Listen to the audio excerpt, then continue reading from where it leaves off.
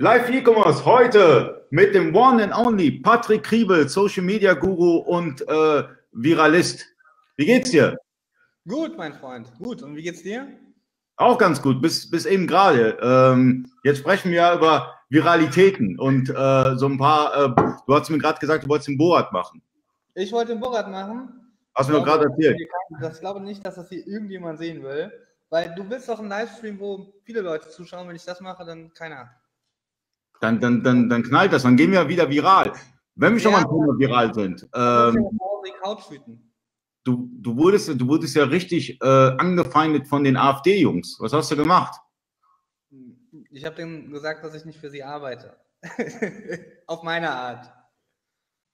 Okay, aber das, das ging ja mega viral. Du hast ja, ich, ich hab, du hast einen mega Shitstorm bekommen von diesen ganzen äh, äh, Jacquelines und Kevins. Ja, ein paar, ein paar Leute, Morddrohungen und so. Und ja, das ganze komplette Palette. Ich glaube, wir hatten die Agentur fünf Tage zu danach. Alle hatten Homeoffice. Aber wie, wie hast du das hinbekommen? Was hast du gemacht? Wie bist du da vorgegangen? Mm, ja, die haben einfach, wir haben ich, wie, soll man sagen, ja, das, äh, wie, Dennis, wie nennen wir das? Parodie? Oder nee, wie, wie, wie haben wir es? Satire. Wir haben es satirisch aufgenommen. Also wir haben eine Anfrage von der AfD erhalten und dann haben wir es satirisch quasi verarbeitet und äh, alle Mitarbeiter befragt, was sie von meiner Idee halten, also ein Video und am Ende, äh, ja, zeige ich halt in den, ja, ich, das kann ja jeder sehen. Ich kann, soll ich das pitchen jetzt, was ich da gemacht habe? Ja, bitte. Ja, wie bist du strategisch da dran gegangen und wie bist du dran gegangen? Wie können die Leute viral gehen? Oder, ja. Ja, die Wahrheit ist ja auch die, es gibt ja gewisse Reizthemen und wenn du sowas wie die AfD, ähm, wenn du AfD-Leute ansprichst und sie provozierst und nicht auf ihrer Seite bist, dann ist es logisch, dass es viral geht. Das war, als ich das online gestellt habe, das Video, dann ging erst mal 20 Minuten gar nichts. Und dann hat das wohl irgendwo in einem Forum, schätze ich, jemand geteilt und dann ging das pup. Und dann habe ich nochmal mit einer Werbe, Werbeanzeige rein, also mit Ad-Budget reinge, reingeballert, 500 oder so. Hm. Und dann ging das Ding richtig äh, steil, sage ich mal. Und dann haben die sich ja natürlich da alle hochgetriggert und mich da alle angefeindet. Okay. Und äh, wie gehst du in der Regel vor? Also ich meine, äh, das hast du jetzt für deine Agentur gemacht, aber du machst es sehr wahrscheinlich auch für deine Kunden, dass du äh, organisch versuchst, durch so ein, so ein virales Ding äh, sie ein bisschen bekannter zu machen. Kannst du da ein paar Hacks raushauen? Ja, ich glaube an organischen Traffic fast gar nicht mehr, ehrlicherweise. Ähm, alles andere wäre gelogen. Wir sind komplett von organischem Traffic weg oder von organischer Reichweite. Wir verlassen uns da gar nicht mehr drauf. Du musst heutzutage Ad-Budget in die Hand nehmen. Organisches okay. ja. Mit einem Live-Video wie hier ist cool, wenn du aber auch, du brauchst eine gewisse Reichweite, damit überhaupt was passiert. Aber organisch ist durch. Okay. Ähm, also ich sehe das ganz häufig. Ich sehe äh, Leute, die, die, die werben und dann äh, gucke ich bei den Likes und dann sind es 50 Änder. Woran liegt das? Na, man, man, also das weiß keiner so ganz genau. Man spricht davon, dass das Klickfarmen sind, ähm, die quasi ihr Tun so vertuschen wollen. Ähm, das kann man aber leicht beheben, indem man zum Beispiel einfach ähm, bei der Targetierung die Sprache Deutsch angibt. Ja, welche Sprache sollen die Leute sprechen? Deutsch. Und dann hat man die arabischen Likes aus der ganzen Welt quasi damit schon mal ausgegrenzt. Ja, mein Like kriegt ihr trotzdem. Ja, ist auch aus der arabischen Welt irgendwie. Ja, aber ähm, da, genau, da genau sind wir im richtigen Punkt. Also wenn ich jetzt beispielsweise als, als, als Neustarter sehe ich ja dieses Jetzt-Werben-Button, ja, bei Facebook. Und äh, ja. äh, mir haben viele gesagt, drück da bloß nicht drauf, das machen nur Idioten. Stimmt das? Ja, ja der, dieser Button, ich sage das immer relativ charmant, äh, dieser Button ist ein Arschloch. Ähm, ist halt relativ einfach zu erklären, man muss es aber halt wissen.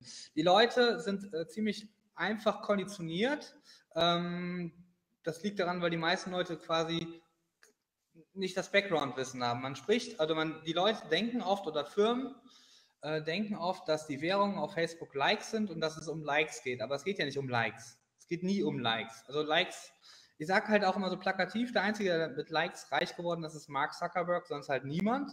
Ähm, und Facebook, wenn du eine Facebook-Werbekampagne äh, schaltest, dann unterscheidet Facebook alle, die komplette Crowd, alle Menschen in, auf drei Ebenen. Ja? Auf der einen Ebene Klicker, Interaktionsmenschen und Conversion People, also Leute, die ein Sale machen oder ihr Lead ähm, geben.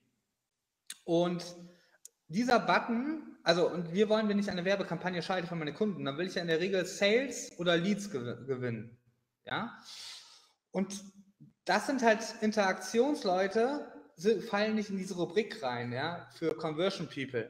Und dieser Button ist quasi auf Interaktion getrimmt. Also heißt, der sucht dir keine Leute, die was kaufen, der sucht dir nur Leute, die liken. Und Leute, die liken, naja, brauchen wir nicht, wir brauchen Sales. Okay. Und äh, wie, würdest du, wie, würdest du, so ein Marketing-Funnel komplett aufbauen? Also ich habe jetzt ein Produkt, ich verkaufe äh, äh, Windsurfing-Geräte, ja, und die will ich jetzt äh, äh, vertickern und ich nutze Facebook als, als Verkaufskanal. Mhm. Ähm, okay. Wie, wie ja. müsste ich das aufbauen? Die Frage ist ja erstmal grundsätzlich, ähm, über welch, also wo verkaufst du denn? Verkaufst du über deinen Shop, über Amazon? Sagen wir einen Online-Shop. Ich habe jetzt einen Online-Shop, Shopify. Okay. Ähm, dann ist es grundsätzlich gibt es da verschiedene Möglichkeiten. Ne? Man, kann da, äh, man kann da quasi vorher Leads sammeln und dann über den guten alten E-Mail-Weg, über Content versuchen, das Produkt an den Mann zu kriegen. Das ist aber nicht unser, unser Ziel in der Regel. Wir versuchen wirklich kalten Traffic konvertieren zu lassen auf dem Produkt und dann quasi, also wir schicken den kalt auf das Produkt drauf und schauen dann, dass wir mit Retargeting die Menschen zum Kaufen bewegen.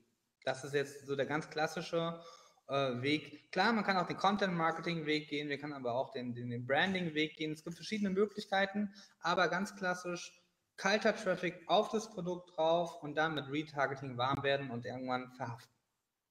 Okay, und ähm, findest du, dass Facebook, also wenn, wenn wir uns mal anschauen, Instagram ist ja auch krass im Kommen. Äh, findest du, dass Facebook immer noch eine bessere Reichweite hat als Instagram oder YouTube oder sonstige Plattformen, als Social Media Plattformen? Hm, nee, grundsätzlich ist es im Moment so, dass äh, mein Favorite Netzwerk Instagram ist.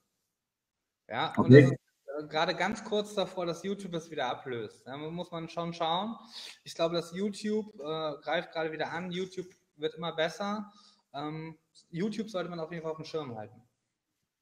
Okay, äh, bei YouTube ist auch mit, äh, mittlerweile möglich, dass du Stories auch äh, äh, hochlädst. Also du hast jetzt die Story-Möglichkeit bei YouTube, die gab es vorher ja auch nicht. Also man sieht ja, dass die, dass die, dass die ganzen Social-Media-Plattformen immer ähnlicher werden. Ja, wenn man sich anschaut, Facebook, Instagram äh, und dann auch YouTube, ähm, die werden sehr ähnlich, obwohl YouTube von Google und Facebook von Facebook halt und Instagram auch von Facebook. Ja, das sind ja zwei verschiedene Unternehmen, aber die gleichen sich an. Und äh, angefangen hat sie, angestoßen hat sie ja Snapchat. Genau. Und die wollten nicht verkaufen, dann war Facebook sauer und hat es einfach nachgebaut. Und jetzt wird ja in, in Amerika, äh, kriege ich das immer so ein bisschen mit, äh, wenn, wenn ich so ein paar Leute in Amerika folge, äh, dass die ganz stark IGTV äh, äh, nutzen. In Deutschland ist, ist, ist, ist, es überhaupt noch, ist überhaupt noch nicht bekannt geworden, würde ich sagen. Das Habt ihr da Berührungspunkte? Ja. Bitte? Habt ihr da Berührungspunkte mit IGTV? Habt ihr da schon was gestartet mit oder? Nee, wir haben selber damit nichts gestartet. Das liegt halt einfach daran, dass es ist einfach noch nicht, es wird noch nicht so angenommen.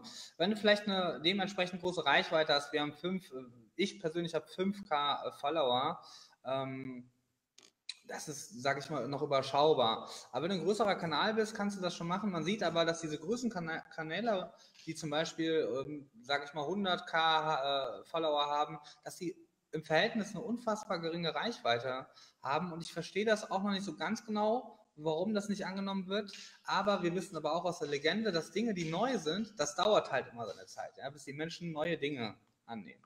Äh, grundsätzlich würde ich aber IGTV äh, gute Chancen geben für die, für die Zukunft. Okay, und ähm, du hast ja wahrscheinlich auch Instagram-Shops aufgebaut für deine Kunden. Wie, wie, bist du da vorgegangen? Also wie kann ich so einen Instagram-Shop einfach mal aufbauen? Einmal einen Instagram-Account und, und los geht's oder gibt es da irgendwelche Voraussetzungen, die ich äh, erfüllen muss? Essentiell wichtig ist einfach, dass du, äh, dass du dein, dein, äh, Konto, dein, dein Konto zu einem Business-Konto upgradest.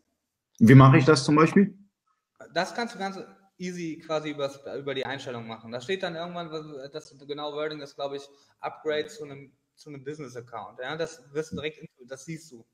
Und dann verknüpfst du das und dann wäre es ultra sexy, wenn du deine Produkte, die du hast, auf oder auf Facebook hinterlegst. Das kannst du am besten mit einem Datenfeed machen. Äh, den kann man sich zum Beispiel bei JTL ziemlich easy ziehen so ein Datenfeed hat halt einen Vorteil, dass der Dinge automatisch updatet. Also heißt, du hast, ähm, du veränderst den Preis von 10,99 Euro auf 15,99 Euro, dann zieht sich Facebook das aus dem Feed und dann ist der Preis immer angepasst. Wenn du das in der CSV kannst du auch machen, hochlädst, dann mhm. musst du die Sachen mal manuell updaten. So ist dann quasi der Shop mit deinem, äh, mit deinem Instagram-Account verknüpft und dann kannst du deine Produkte in deinem ja, Beitrag taggen. Okay. Und äh, wenn ich dann noch die Funktion, die Story-Funktion, die geht ja auch erst ab, ab einer gewissen Abonnentenanzahl, dass ich dann so ein Swipe-Up oder sowas, das, das, das, sehe ich auch immer häufiger, dann hast du irgendwie ähm, da so ein kleines Werbevideo oder wie auch immer und dann steht das Swipe-Up for, for more information. Äh, ab wie viel Abonnenten bekomme ich denn dieses Feature bei Instagram? Da gibt es keine Einschränkung. Also Swipe Up habe ich sofort, wenn ich ein Business Nein, Swipe Up hast du ab 10k. Swipe Up okay. hast du ab 10k, aber dass du Produkte taggen kannst, gibt es keine Begrenzung. Also okay. keine Mindestanzahl. Wie baust du denn so einen Instagram-Account auf, wenn du, wenn du beispielsweise nur ähm, 100 Abonnenten hast und äh, es wird dann schwierig für dich, irgendwie irgendwann mal auf 10k zu kommen? Was, was, wie kannst du so einen Instagram-Account denn aufbauen, dass du dann diese Funktionen auch von Instagram nutzen kannst? Wir persönlich ähm, bauen sogar fast nie äh, Accounts auf, weil wir sind wirklich, wir haben uns von der Agentur so hin entwickelt, dass wir wirklich auf Performance-Ebene sind.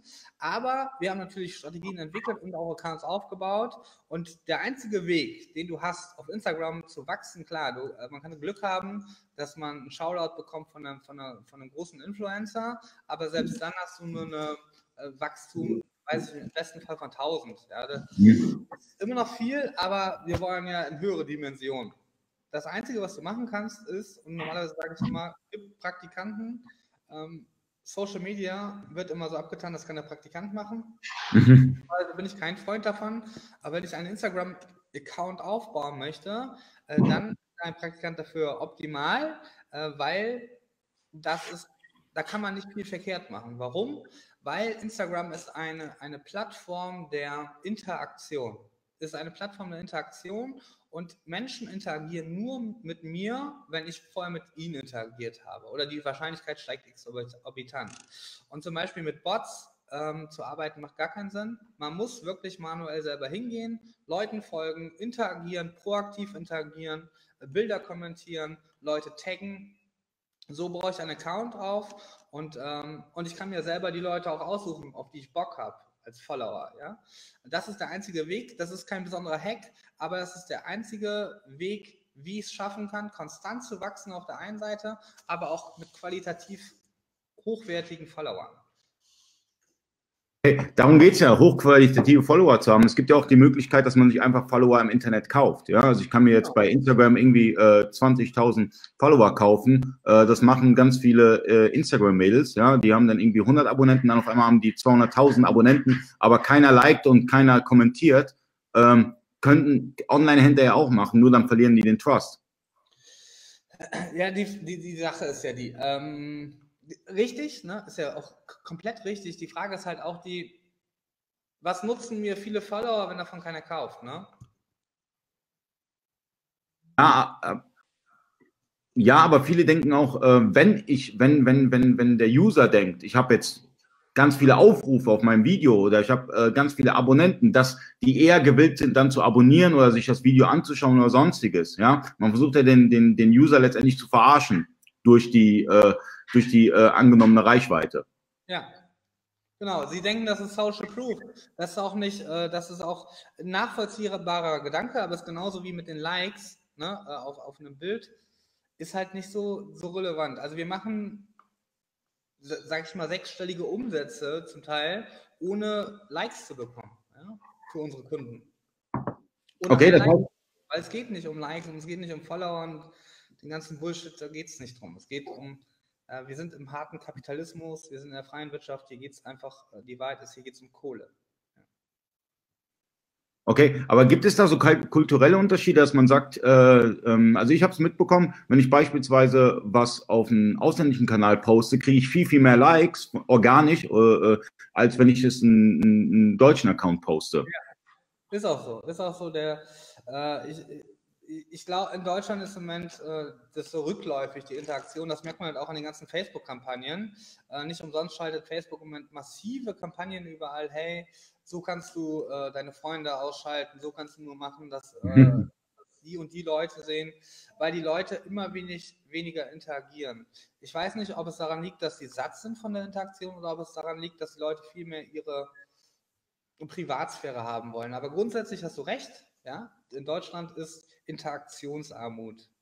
Hm. Ähm, ich habe einen guten Freund, der hat äh, alles organisch aufgebaut. Äh, Limukan ist so eine CBD-Gruppe, ja. Der hat eine CBD-Gruppe aufgebaut und hat da äh, letztendlich sein, sein, sein, sein, äh, seine Zielgruppe gefunden und interagiert mit denen und äh, macht also ständig Live-Videos und allem drum und es läuft super. Würdest du das deinen Kunden raten, dass sie organisch äh, äh, eine Gruppe aufbauen sollen und über diese Gruppe dann versuchen, ihre Produkte zu verkaufen mit einem gewissen Trust dahinter?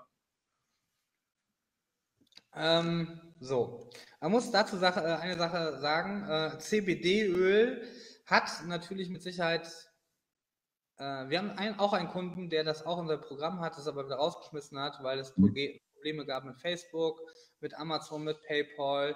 Die Gesetze sagen zwar, CBD-Öl ist safe, aber gewisse Richtlinien sagen, das ist nicht safe. Das ist jetzt auf der einen Seite. Dementsprechend ist CBD-Öl ja quasi mit Hanf gleichgestellt oder man sagt das ist ein Hanfersatz. Ähm, die haben natürlich eine krasse Fanbase. Das, so, ich glaube heutzutage, wenn du jetzt zum Beispiel, wenn du jetzt eine JTL-Gruppe eröffnen würdest, obwohl das schon zu spezifisch ist, ihr habt natürlich eure Base, aber du gehst jetzt irgendwas, machst was, was jetzt ein bisschen trockener ist, nicht wie CBD-Öl bisschen trockeneres Thema, wie zum Beispiel Liebhaber für Monitore. Da wirst du sehen, es passiert organisch gar nichts. So, darauf wollte ich hinaus. CBD hm. hat halt eine Fanbase. Wenn du das in einem Forum postest, dann passiert natürlich was. Ähm, jetzt noch zu einem anderen Thema. Also grundsätzlich sollte ich Gruppen aufbauen, wenn ich die Zeit und die Muße dazu habe, aber das geht halt grundsätzlich. Grundsätzlich. Es gibt immer Ausnahmen. Früher habe ich ja im Ursprung ich weiß gar nicht, ob du es weißt, aber im Ursprung kommt ja meine Social Media Affinität, weil ich 1,4 Millionen Fans aufgebaut habe. Die habe ich aber letztes Jahr abgestoßen, letztes Jahr war es, abgestoßen. Weil früher ging das noch, solche Dinge organisch aufzubauen. Heute geht das nicht mehr. Äh, oder es ist schwierig oder du brauchst eine geile Nische dafür. Ähm, eine Gruppe aufbauen, du brauchst halt Ads. Advertising. Dann kannst du alles aufbauen, jede Gruppe. So, soll, soll man mit einer Gruppe arbeiten? Ja, wenn man die Zeit und die Muße hat. Oder wenn man sich jemand dafür einstellt, der, der sich dann darum kümmert, den Social Media Part zu übernehmen. Aber ähm, wenn ich beispielsweise jetzt einen Mitarbeiter äh, zu dir schicken möchte, würde, würde das